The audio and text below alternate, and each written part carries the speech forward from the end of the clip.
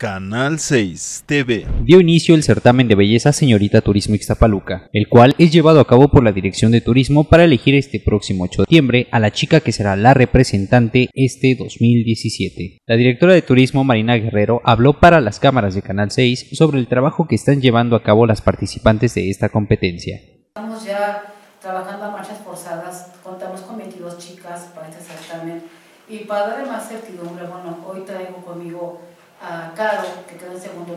y a Jessica, que fue primer lugar también de belleza, que son quienes mejor les pueden hablar sobre su experiencia personal.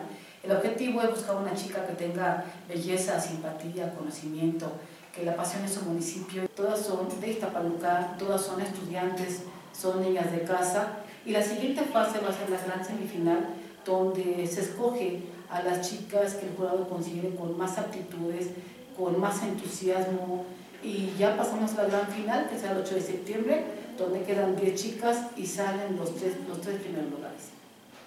En el marco de este certamen, Jessica Soto y Carolina Ruiz, primer y segundo lugar 2016, compartieron el trabajo y las sorpresas que las representantes de la nueva señorita Turismo Ixtapaluca 2017 les espera.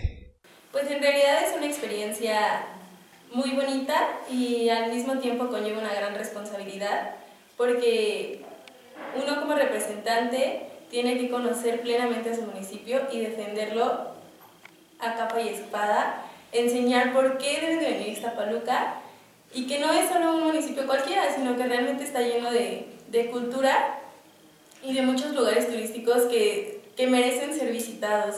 Las señoritas que vienen en camino a aportar la corona de señorita turismo en los primeros tres lugares, pues debe tener esa fortaleza, compromiso y responsabilidad para que tenga eh, el, para que adquiera el conocimiento y posteriormente lo comparta a las demás personas. Reportó para Canal 6, Javier Gutiérrez.